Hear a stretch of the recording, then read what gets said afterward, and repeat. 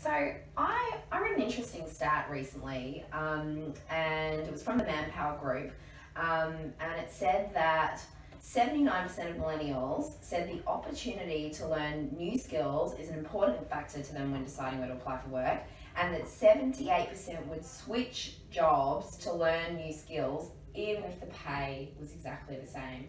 Now, I know that there's a lot of conversations going on at the moment in boards about retaining millennials. Is it simply because we're not giving them enough opportunities to learn?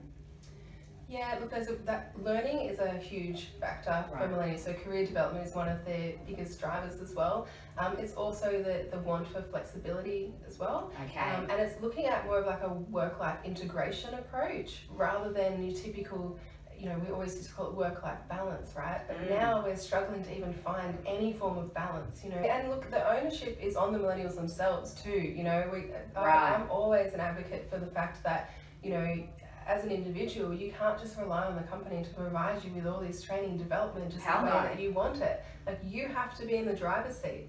And so, if learning and development and if career development is super important to you, you need to table that conversation with your manager so that they understand what's actually in your head. yeah. Because we can't have these, you know, often Yeah. at the workplace we have these silent conversations where we're all angry with each other and no one knows why because no one's actually verbalized what's going on. So we need to take So- control. Yeah, taking responsibility and then having, you know, getting clear on what it is that you want for yourself um, on an individual level because if you're not clear, no one else can support you and no one else can help you to get there.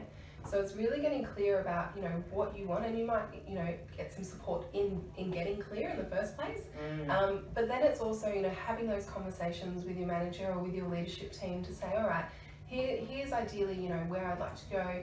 Here's what I'd like to, you know, bring to this organisation and the value that I'd like to bring and what I'd like to work on. Um, and, you know, talk about some of the options about, you know, ways that you can support each other to get there. It's like a, a you know, two-way street in a way.